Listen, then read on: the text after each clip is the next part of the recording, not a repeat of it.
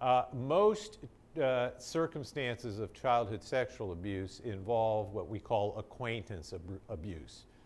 Uh, the victim knows their abuser. And in a great number of those cases, that involves a family member. And it's always very difficult to uh, report a family member because obviously it affects the entire family dynamic. Uh, but there is no excuse not to report.